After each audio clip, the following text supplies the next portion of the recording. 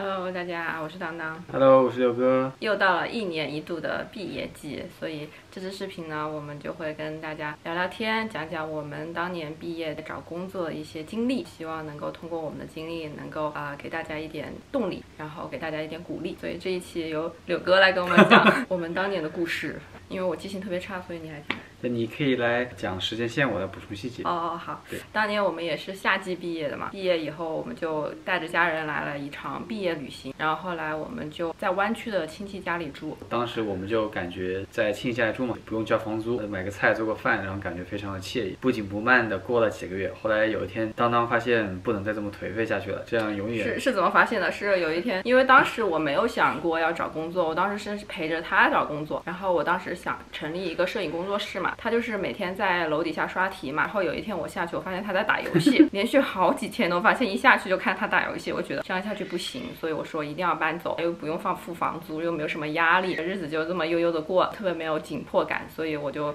提议就是我们搬出来。后来我们就搬家了。我们就搬到了圣何塞。就是因为大家找工作找得很苦嘛，如果听到我们也曾经受过那样的苦，可能会心理平衡一点。嗯，好，那你先说一个。我觉得那时候的生活环境特别苦，因为当时我们毕业以后好像没有问家里人要钱，因为对我们俩毕业以后，就是当时读完书读书给的学费、生活费还有钱剩了，我们就想用这个钱，然后就过渡到找工作，所以就不打算毕业以后还找家里要钱，所以当时就非常节省。然后为了省房租，当时还是跟别人合租的，好像客厅里还住了人，对吧？因为我们就是从亲戚家搬出来的，所以我们没有任何家具嘛。然后那个房里当时是有一张床垫，不是那种 foam 的，是那种 spring 的那种，然后比较老了，就睡得比较软了。然后我们当时我们俩想省钱，就就不买了，就我说我们就就就着那个用吧。然后那个特别矮，就放到地上，然后我们就直接睡在那个地上。其实因为它那个很老了，所以它那个对背的 support 也不是很好，所以我们俩一直每次睡的就感觉腰背痛，早上起来根根本就哎呦都起不来那种感觉。唉，而且它一般都是下面会放一个 box，然后上面放一个 mattress 嘛，我们就直接把 mattress 放放放放在地毯上，然后睡就特别矮，当时为什么不买一个 box？就想省钱嘛。当时就觉得特别有骨气啊！我就不问家里人要钱，我就是要靠自己。时哎，当时也觉得很快就能找到工作，只是过渡一下。就你那个样子，你还很快能找到工作，天天打游戏。总而言之，那时候就是生活生活条件很苦的，我感觉。对对对对，生活条件苦，加上环境也比较差一点。嗯那时候又没有经济来源嘛，这个月就是愁下个月的房租在哪儿，然后有时候我就会去接一点那种摄影的活，赚一点房租，然后柳哥就会在外面打工。啊、对，我在那个加油站打工，加油站。不是不是，就是给加油站写一些程序什么的。当时买菜呀、什么买东西也会非常省，因为当时就是想拖着那个时间，就是想马上找到工作拿到工资，就不问家里要钱，就是赌的那一口气的感觉。当当他还去就是去别人拍婚礼啊，去斯坦福啊干嘛？我们去的早嘛，因为婚礼是早上开始，有时候我们四点多就要出发，然后我就当司机嘛，然后他去斯坦福里面婚礼现场，我就在外面坐着等，然后弄得天也挺辛苦的。但我觉得还蛮有意思的，认识很多不一样的人。如果当时走下去，说不定就开工作室就一直走摄影这条路了，就不是现在程序员了。但是我就是看到柳哥，我就我就生气嘛，他就是每天吊儿郎当的，又不好好复习，我就一怒之下，我也开始找工作了。我说你等着。看我刷题，我要是我先比你找到工作，你怎么办？然后果然是我先找到工作，然后刘哥就一怒之下，他也马上找到工作了。讲讲我们面试中遇到的困难吧。当时投简历也投的挺绝望的，我们也没有什么实习经历，所以就是我还是转专业的，人家看我你还没有 E 转，你还没转。就是人家一看我的这个简历，哎，什么学院呢，就直接不看了。对，有人就跟他明确回复说你是 double E 的，呃我们不考虑。有一个有一个公司说，我们给你面试完全是因为你叫 Danny，因为我们的什么 manager 也叫 Danny，所以给了你一个机会。我觉得对我的侮辱。然后当时 当时他面的特别好，直接去他们公司，然后在一个办公室里面写黑板，他说一道题，我做一道题。我记得我当时一个小时答了七道，不知道八道题，还有那种脑筋急转弯的题，然后我都答对了，还是不给我 offer。他就说，因为我不是 CS 专业的，我是 double E 专业的，所以不给我 offer。然后回去还让我做一个什么 homework，他让你答一个 framework 一个 project，说嗯一个星期内答完，然后把作业发给他们，他们来看。对，所以我就很生气嘛。但是没办法，为了找工作，我就忍气吞声，准备开始做。但是那个时候就等到了 Amazon 的 offer，所以我就没有接他们。后来那个到公司就倒闭了，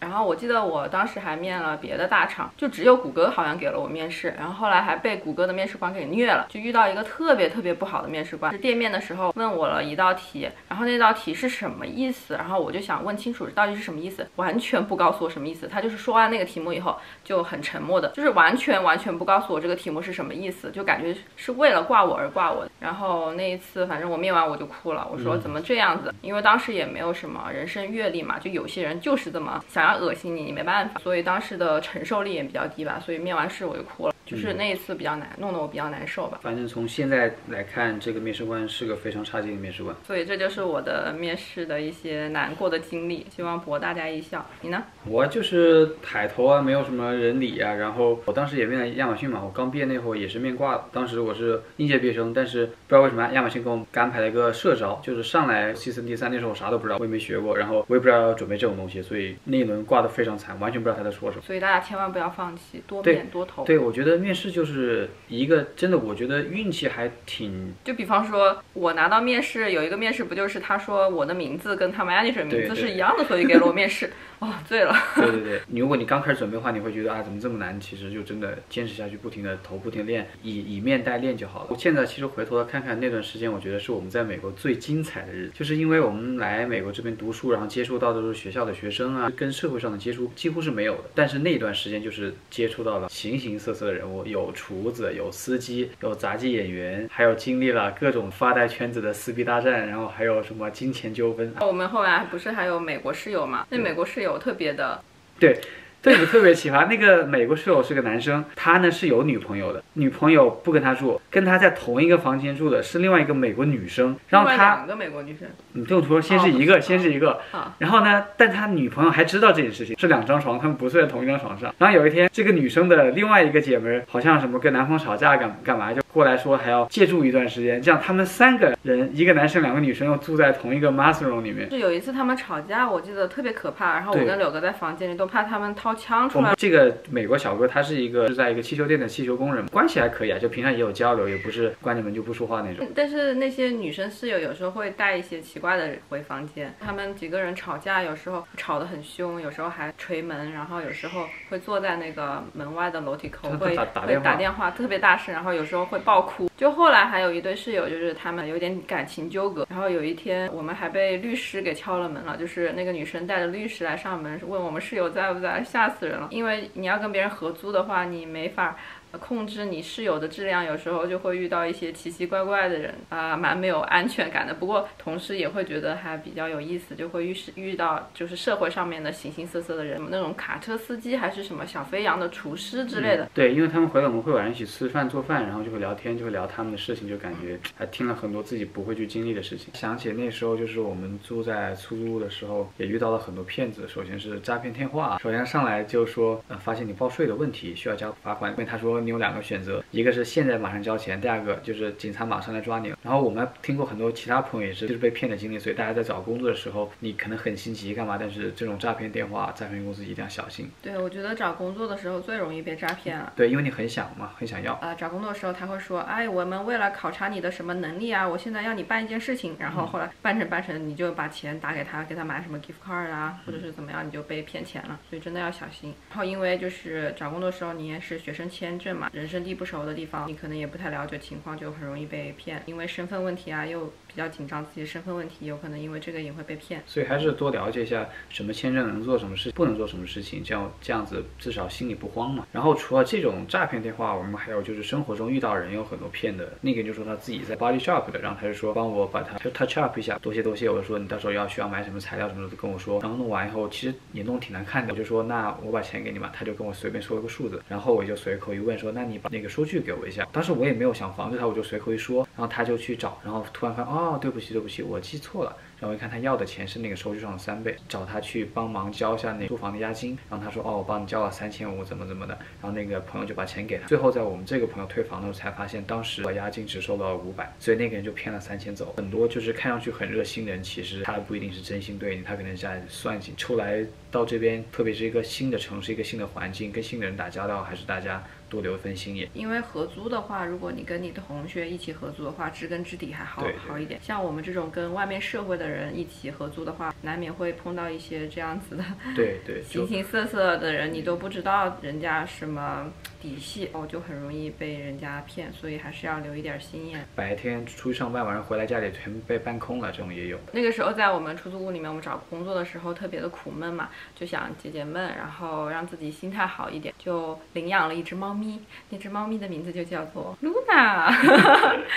所以说，嗯，Luna 是我们从 shelter 领的。然后当时我记得有时候柳哥是飞去别的城市面试嘛，然后就只有 Luna 陪着我，因为刚才不是说了我们那个床是直接放地上的嘛，他就直接睡到我枕头旁边，我就觉得蛮有安全感的，因为是 Luna 陪着我嘛。当时 Luna 也陪我们度过了一那一段最艰难的日子。我记得当时也有很多同学一起毕业的，然后我们一起来到加州，有时候租的地方会比较近一点嘛，然后有时候可以一起吃个火锅呀，然后看个电影啊，然后有时候一起看个鬼片儿啊，苦中作乐的感觉。找工作那段时间可以说是学生时光的一个余温吧。最后最后你能感受到就是跟同学一起相处的时光。工作了以后可能就没有太多时间，或者是没有那个感觉了，所以好好珍惜 最后一段跟同学一起又不工作，然后又一起努力、一起奋斗的一段时光吧。对，一旦参加工作，大家去了不同的公司，不同的节奏不，同的城市。对，就算一个城市有可能不同的节奏，有公司忙，有公司不忙，对吧？好，这就是我们当时找工作的那段时间的一些趣事吧，希望能够鼓励到大家。然后最后柳哥来给大家说一段心灵鸡汤。毒鸡汤就是，无论之前经历多么苦的事情，当你把它踏过去之后，回过来看，可能都没有那么苦。而且一些不好的事情，可能也就是一些磨难经历，造就了今天这么成功的你。所以，如果你现在正在经历煎熬，那么就拥抱它，享受它。以后就像一杯咖啡一样，苦后有甜。大家加油！好啦，那这期视频就到这里啦，祝大家找工作顺利哦，会成功的。啊，那我们下期见喽，拜拜拜